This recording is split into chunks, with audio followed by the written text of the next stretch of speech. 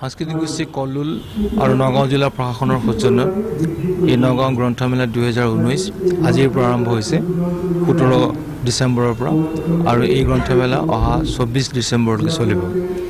গ্ৰন্থমেলা আজি প্ৰায় পঞ্চাছৰো অধিক ষ্টল ইতিমধ্যে পাইছেহি। আৰু যিসকলে আজি আহিব পৰা নাই ফোনা ফোনি কৰি আছে কালি পৰহিটোত উপস্থিত হ'বহি।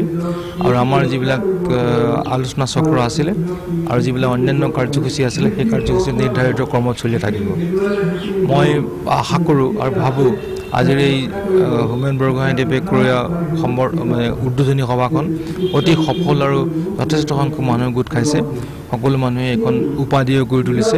আৰু তেওঁলোকৰ তেওঁৰ যি অতি দিক নিৰ্ণায়ক ভাষণেৰে আজি নগাঁও গ্ৰন্থমেলা আৰম্ভ হৈছে। মই আশা কৰোঁ নগাঁও গ্ৰন্থমেলাৰ বাকী সকলো কাৰ্যসূচীত সকলোৱে সকলোৰে সমানে সহায় কৰি সহায় কৰিব আৰু এই গ্ৰন্থমেলাখন সফল হৈ যোৱাত সকলোৰে এটা নগাঁৱৰ এটা ঐতিহ্য ধাৰাবাহিকতা ৰক্ষা কৰিবলৈ আশা কৰিছোঁ। ধন্যবাদ। সমগ্ৰ ৰাজ্য এতিয়া প্ৰতিবাদমুখৰ গতিকে গ্ৰন্থমেলাখন কেনেদৰে সফল হ'ব বুলি প্ৰতিবাদ আমিও কৰিছোঁ। সাংস্কৃতিক গোষ্ঠী কল্লোলেও কৰিছে। সকলোৱে কৰিছে প্ৰতিবাদ। আৰু এই প্ৰতিবাদ চলি থাকিব। আৰু প্ৰতিবাদৰ লগতে এটা হয় মই এটা কথা মই দেখিছোঁ আনকি সমুজ্জ্বল ভট্টাচাৰ্য ডাঙৰীয়াই কৈছে যে আন্দোলন চলি থাকিব পৰীক্ষা চলি থাকিব শিল্পীয়ে শিল্পকৰ্ম কৰি থাকিব। গতিকে গ্ৰন্থমেলা আন্দোলনটো শিল্পীয়ে কৰা শিল্পকৰ্মৰ নিচিনাই।